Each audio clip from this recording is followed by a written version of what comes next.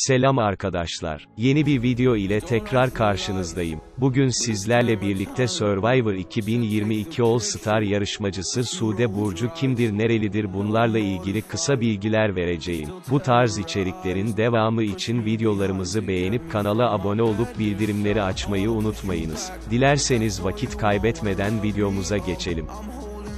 TV8 ekranlarının uzun soluklu programı olan ve Acun Ilıcalı'nın yapımcılığını üstlendiği yarışma programı Survivor 2022 başladı. All Star konsepti ile ekranlardaki yerini alan Survivor'un bu sezonunda geçtiğimiz sezonlardan tanıdığımız isimler yer alıyor. Bu isimlerden biri de daha önceki sezonlarda yarışmış olan Sude Burcu. Survivor 2022 All Star gönüllüler kadrosunda yarışan Sude Burcu'nun hayatı özellikle dün akşamki bölümde ortaya atılan bir iddia ile izleyiciler tarafından araştırılmaya başlandı. Peki, Survivor Sude kimdir? Sude Burcu kaç yaşında ve nereli? İşte Survivor Sude Burcu hakkında tüm detaylar.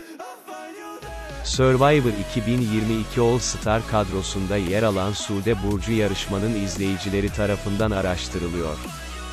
Gönüllüler takımında dikkatleri üzerine toplayan genç oyuncu Sude Burcu bu sezonun en iyileri arasında yer alıyor. Peki, Survivor Sude kimdir? Sude Burcu kaç yaşında, nereli? İşte detaylar. Sude Burcu, 11 Mayıs 1996 tarihinde İzmir'de doğdu. Babası futbol antrenörü, annesi pilates eğitmeni olan sporcunun, iki kız kardeşi de kendisi gibi tekvandocu. Manisa Celal Bayar Üniversitesi Spor Bilimleri Fakültesi 3. sınıf öğrencisi olan Burcu, İzmir Büyükşehir Belediyesi'nde spor hayatına profesyonel olarak devam ediyor ve aynı zamanda da zumba eğitmenliği yapıyor. Güzel yarışmacı bir 66 boyunda ve 57 kiloda olan sporcunun iki kez Avrupa üçlüğü, bir kez Balkan şampiyonluğu, 7 kez Türkiye şampiyonluğu bulunuyor.